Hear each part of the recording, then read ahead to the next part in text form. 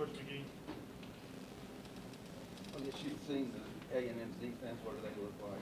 Uh, very talented. Um, they're a tall, long um, group. Um, defensive front um, creates a lot of havoc. Um, obviously, they're in the backfield a lot. They're penetrating defense.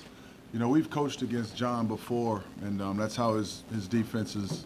You know, that's his philosophy and his, um, you know, what he teaches. That defensive front, get up the field, create havoc. Um, uh, at the, you know, in the SEC. Yeah, we had some battles with them. How do they prefer to create that havoc? Um, just great get off. Um, they do a good job of studying the quarterback's cadence. Um, so they're able to jump the cadence and get in the backfield. Um, you can tell they really preach, which most defensive linemen or defensive line coaches do, the get off and you know how to get in the backfield and um, you know create some havoc, like I said, and they do a really good job of it. What about their two end, uh, Garrett and Hall, their two defensive ends, what are they? Yeah, just great pass rushers. Um, you know, they, they're they're looking to make plays. Most, you know, a lot of defensive linemen want to, you know, hold the blocks and let the linebackers go make the plays. There's some teams teach like that, where this this crew believes that their defensive front can get in the backfield and make plays. That's why they've had so many, um, you know, TFL tackles for loss this season. We're having some time off, you like other teams come back and start their preparation? Yeah, our kids, um, they did a really good job this weekend. A lot of energy and enthusiasm. Um, I think with them having time off, they got to a point where they really miss being out on the field together. And that's why they had the enthusiasm. Um, this week will be important for us because, you know, we, we'll get a lot better this week. Um, it's the benefit of being in a bowl game. Um, our young kids, our kids that redshirted, will get a lot of reps this week. Um, and we'll be able to go back and reteach our schemes like almost like we're in training camp mode, um, you know, for this first week um, before we actually go all in game planning. So it, it'll be a good week for us. How are you approaching your quarterback situation? Meaning, Lamar is a starter? yeah, And how are you dealing, how will you deal for the next couple of weeks in terms of reps for all the guys? yeah. Who will be the backup, that kind of thing? Yeah, they're, they- you know, they've all done a good job. I mean, we get so many reps at practice. You know, in a in a 15-minute skeleton period or seven-on-seven period, we could get somewhere around 40 or 42 snaps. And the reason we do it like that, so everybody gets plenty reps. Um, you know, so they're all going to get reps. Um, they all got reps this weekend um, in our practice sessions. They're doing a good job. We actually kept our, some of our young guys out after practice um, yesterday.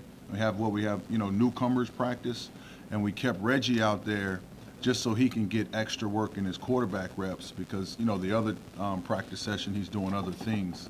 So we just try to find ways to get everybody working um, and make sure that everybody is developing in these extra practices we get. Talk about Lamar now versus the way he was back in August and some of the differences in him in December that you didn't see back then. Uh, I mean, well, he's been out there now. He knows a lot more about our offense. Um, you know, he understands what college football is all about now. Um, but you know, he's one of the um, main guys that's going to benefit from these practices because we have went back these last couple of days and you know install the offense like he didn't know anything about the offense. And then the second time around, he starts to pick up different things, and he, you know he he understands what it is. But when you start back over from the beginning and start teaching again, it's really helped them and helped all of them out. You know, even Reggie and Kyle are sitting in there, and I'm going through something that seems like it's elementary, and then they're taking notes, and I'm going, you guys should already know that. But it's always good to go back and reteach everything from the beginning again. Is he getting closer to getting the right measure weights in the run game, Lamar? He is. Yeah, he, he's.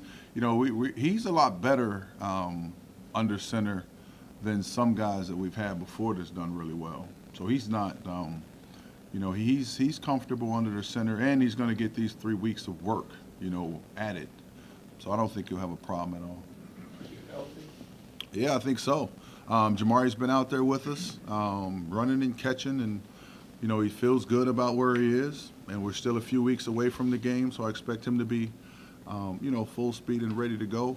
Brandon was on the field with us this weekend, ran well. Our athletic trainers did a, obviously did a great job with him, um, getting them back on the field. so we, we feel good about it. How have some of the younger guys approached practice, and is it sort of like a fall camp for that matter, to where you know you're gonna practice for four weeks without playing a game? How, how have the younger guys handled the full prep practice schedule? Well, you know, we've only had two, and um, the first one on Saturday was a really short practice. It was a lot of individual work, um, just to get our feet back on the ground, start throwing and catching the ball, running and cutting.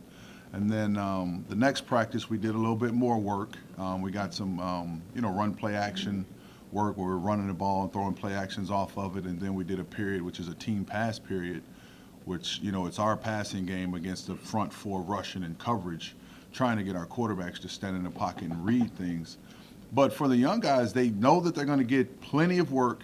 Um, these guys that have been, you know, redshirted and on the look squad and given looks, well, they're in the mix now because this is pretty much spring ball has started for them. Um, you know, so it's a it's, definitely a benefit. I think that um, you know with a lot of our offensive freshmen playing this year, um, you know, it's going to be a huge benefit for Todd. You know, because he had some kids that are really good that were redshirted working as a look squad against our offense. So we saw more of those guys than Todd did during the season. What's Some the- of those, what are some of those guys we didn't see this year that on offense? Oh, I think Kane Pass, um, you know, he was a, and I'm speaking because he was on the scout squad this year. And so he spent more time on our side of the field during practice sessions. You know what I mean? And w- with us throwing passes against him and him giving us looks. And he has instincts. He can play the ball. Um, I think he's, he'll be a kid that, you know, you're going to hear about a lot. Um, Jonathan Greenard is a really good pass rusher. He gave us a good look all season. Um, and then now he'll get to, you know, get closer to coming out of his red shirt. I think he'll be a name you'll hear also. With them being good pass rushers, your line play obviously is is a key factor. How have you seen the offensive line adjust or improve throughout the season? Where do you think they are now? Yeah, I think they're, like I said, these these days are going to be really good for us because, especially the first week before we we're game planning now as a coaching staff, but with our kids the first week we're going to get a lot of individual work. And what happens when you're you know a true freshman and you get thrown in the fire, you don't have much time to figure out the basics because we got a game to prepare for. So now you can go back to almost training camp mode and, you know, reteach everything over again, all the techniques, all the drills. And I think that, um, you know, I think they're going to grow. And ultimately, when we get out there, you know, on game day, I think they'll play a lot better than they have. They'll feel a lot more comfortable out on the field. What's your assessment of how they played throughout the season? Yeah, I, I thought it was up and down, but I think it's like that when you're really young. You know, I have um, two really young kids, and they're kind of up and down also. You know, so when you have true freshmen all over the field, you know, you're going to have some really good days and some really exciting times, and you're going to have some times where you're going, I have no idea what he's doing out there.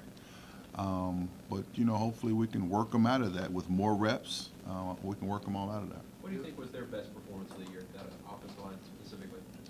Uh, I don't. I mean, you're only as good as the last game you play, you know. So, I just I'm really proud of how they stuck in there, kept banging, kept battling, even when we were down in the last game we played. And you know, the the look that they had in the locker room, they were fine. They knew that we had made a couple of mistakes early in the game, gave them some points. That it wasn't like they were dominating us, and that's why we were behind. We had put ourselves in that situation. So we, we knew that our defense would get some turnovers and get some stops, and we just felt like if we can go out with enough energy and enthusiasm and really get going here, we'd give ourselves a chance to win it in the fourth. When you look back at the line and you look at you had a true freshman at both tackles for a while, how much does that bode well for the future? Just because those guys did it against a really tough schedule as guys who you normally wouldn't have expected them to be playing a lot, right? Uh, well, yeah, the future's bright. I mean, we got a lot of now. You know, you, they still have to develop, um, but we did have a lot of really young kids on offense that played a lot of snaps and a lot of big games and big environments. And um, you know, Geron, he's the only one that started the whole season every game. You know, as, in as an open side tackle against the elite pass rusher on every team. And him as a true freshman, he was the guy out there to start at every game. So it's you know, I think he'll really develop. Kenny Thomas was able to play some this year in games. Um, he had an injury that set him back, but we really are excited about Kenny. Um, as a redshirt freshman, played a lot of football for us. And things tor- towards the end of the year started to slow down for Lucas, you know, and um, obviously all those receivers that are out there, you know, they've, they've, um, they have, obviously they have talent. The next step will be understanding all the concepts and schemes and how defensive coverages work and where to fit in open lanes instead of just running as fast as you can trying to catch the ball.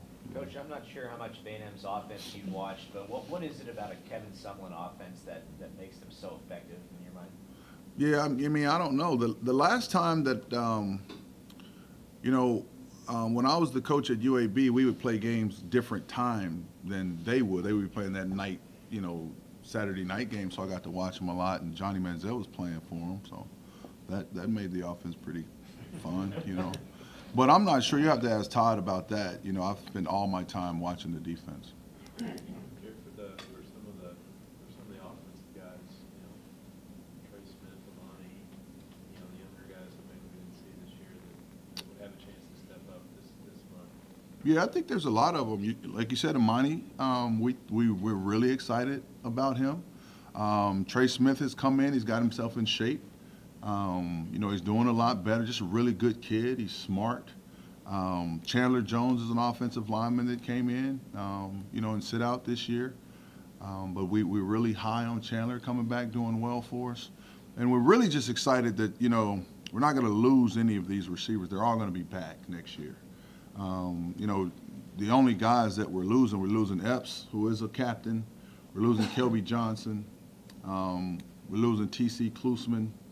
We're losing Corbin Lamb. And that may, there may be, um, Darius Skinner is another senior that we're going to be losing. Um, but besides that, I hope I didn't miss any of them. But besides that, everybody else is back. You know, so we, we should develop the leadership and um, the commitment to excellence that we need because this whole offensive crew has been out there together before. The improvements in your run game as the season came towards the end, how much of that was simply experience, how much of it was the guys starting to get it, how much was it Brandon Radcliff or maybe one of? Uh, I think it's a little bit of, you know, all of the timing of it. Um, you know, just pressing holes, um, staying on blocks longer, understanding when to come off on the linebackers. Um, you know, for a stretch, it was Kyle putting us in the right play so that we made sure we're running good plays into good defenses. And then it was Lamar, you know, doing what he had to do in the zone read game, getting out on the perimeter, making runs. So I think it's a, um, a combination of all of it, you know, that, that made it happen. Here for the, how much has Lamar improved, or what is it that he's, that maybe he's doing better, just whether whether to keep the ball or hand it off? What, how does that process work in that Yeah. instant, and what has he gotten better at noticing, or, because the Kentucky game, he was always seemed to do the right thing. Yeah, you know, he, he made a lot of those look like he did the right thing because once he got out there, you know, he was natural. But, you know, I just think it, it things start to slow down for him. You know, that you, you don't have to make the decision that soon. You have a little bit more time to make the decision. Um, trust yourself um, is one thing I tell them. You know, take what they give you. Don't try to make anything up and guess. Just take what they give you. The end comes up the field. Let our runners run. If that guy squeezes, then you pull it and run. It's that simple. So don't, you know, make it into anything else and don't try to make it hard. Just take what they give you. But when you pull it, go ahead and go run. You know, that's what I told them. How big is a game, can a game like this be around time and, you know, all you have to do for the brand, you know, for recruiting and everything else, just to be in a bowl game and be in one of the games that Yeah, that, that's the, um, excuse me, the benefit, you know, of a bowl game, playing against a very good opponent, high-profile opponent, um, you know, in a neutral site, but a game that's close to our home. You know, so our fans will be there, I'm sure. Um, our team will be really fired up, and we really want to go out and represent our program, represent our university the right way, so that everybody in the country can see that we are, um, you know, one of those teams in the country that everyone should be thinking and talking about. Um, so it's really important, um, you know, for us to go down and represent ourselves and our school the right way. How, difficult is it for Lamar to always do the right thing, I guess, with his mobility and creativity that he has? I mean, is it, is it difficult for him to, to be like a perfect quarterback in a way, or, because I know he can, he, you know, he can make things happen with his speed. Is, is that kind of what you were referring to when, when Steve, when when you were talking to Steve about, you know, he's not always doing the right thing, but he makes it look like he's doing the right thing? Is- Yeah, well, I, you know how they're graded. Um, you know, it's the decision that you made is the first grade and the most important thing for a quarterback because you have a decision to make every single snap as a quarterback. You got to make sure we're in the right formation, make sure we're in the right protection, make sure this play is going to work versus this defense. Um, understanding, you know, what the coverage is, making a decision on who to throw to. Um, so the decision making is the most important thing for a quarterback. And um, you know that that's where um, I think experience for any guy um, really does help. You know, I now are there times when you know he's back there and we're yelling at him, going, "What is he doing?" And then he takes off and he runs by us for 40 yards, and we go, "Yeah, good job." That happens a lot. Um, you know, but the um, you know he needs to learn that he can save a lot of energy on the field if he take three steps, one hitch, and deliver the ball on time to an open guy down the field. Because at some point, you know, you end up running out of energy when you're running around like that. You know, and he wants to be an efficient quarterback. He does not want to be um, a running quarterback. You know, that's the reason he chose to come and play in our style of offense because he wanted to learn how to put his hands under the center, take five-step drops, throw on time, understand coverages, and then let his athletic ability happen natural. Um, so I, he just, right now, he's just a young kid, you know, but he's gonna develop into a really special quarterback. For maybe the opposite of that, have you guys changed your offense some? I mean, I mean, just as far as you have new plays, new formations? that- Well, um, we haven't changed our, our um, philosophy of offense, um, but we have um, done some things to, um, you know, benefit the strengths that we have. And, you know, his strength at a certain point in the season when we were trying to just win games, we had to use his strengths. So it could look like we're running some plays that we haven't emphasized in a while, just just because the kid that we're playing with at this time has different strengths than a lot of kids do. So it's not that we've changed our philosophy at all. We're just really trying to get our kids, in particular our quarterback, um, in position to use all of his strengths.